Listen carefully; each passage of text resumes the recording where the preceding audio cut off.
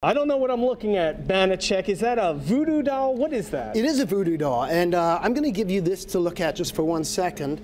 Guys, we're back here at the Strat, SkyPod, world's greatest mentalist, Banachek, Mind Games here, live at the Strat Theater. Banachek, I'm still recovering from our last trick that we did in honor of Halloween. I'm worried about this one. Well, this one's going to be a little more scarier, all right? Okay. Do you know what these are? Uh, it's no. They're is cigarette papers. Oh, see? Is what they are. Now, the first time I saw this, it was actually being taken out the arm of a voodoo doll, it was in New Orleans.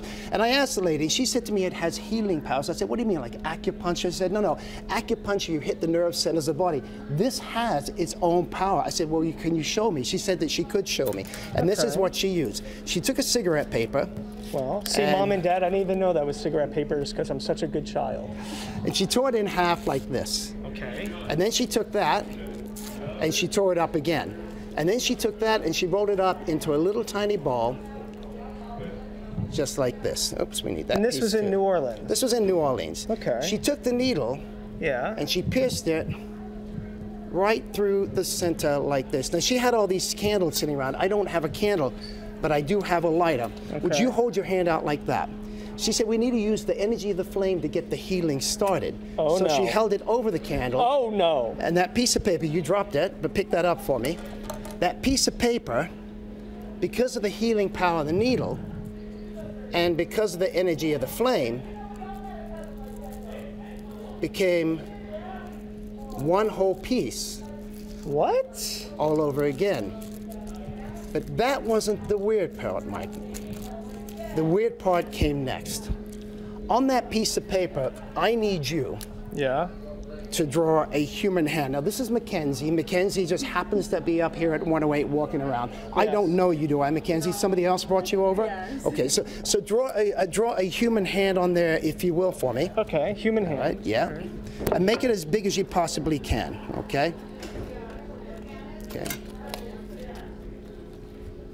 Mackenzie, I need you to hold your hands up like that, if you will, for me. Yeah, like that. All right. And what are your initials? M-E. Put an ME in the center of that hand if you will. Just a little, yeah, right about there, like that. Good. Okay. All right. So, Mackenzie, what I need you to do is I need you to Not go winning ahead. any art Oh. competitions anytime soon. Anybody at home? Okay. So, Mackenzie, I need you to close one of your hands. Okay? Put the other hand down. We won't need it. Whatever you do, do not let me in that hand. That's the hand you selected to close. You've thrown a hand, you've placed her initials on it. There are many people that believe if you make an effigy of somebody, as you do to that effigy, so happens to that person. Mackenzie, I believe this to be your hand. If that's true, then in Hollywood you see people writhing in pain. That's not what happens. What happens is a person starts to bleed, and they bleed very slowly. Sometimes three months a year they bleed to death. You can't stop it. There's only one way. That's by using a needle like this, blessed by, what? What? blessed by a Say Haitian that one more priestess. time. I just want to make sure I'm hearing this right. You are. They bleed and they bleed to death. But there's one way to stop it, Mike, by using a needle like this, blessed by a Haitian priestess. When you remove it, the healing starts and the bleeding stops. Now, I have a very good imagination. Put your hand out even further.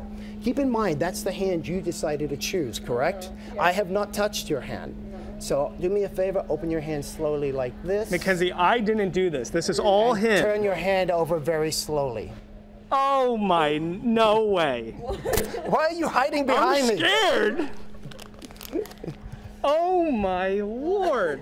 Do we have a Haitian princess in here? What? So, what? Mackenzie, you should stop bleeding, Mackenzie, uh, Well, you should stop.